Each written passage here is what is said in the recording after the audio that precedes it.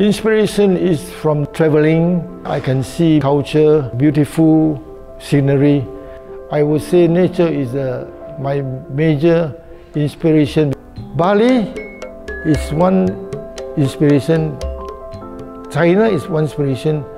Other countries they have their own beauty. How do I express myself is to understand the culture, the people, the food, everything can inspire me to make my artwork. Other sources from inspiration is from material like silk, Chinese uh, paper, fabric, found object.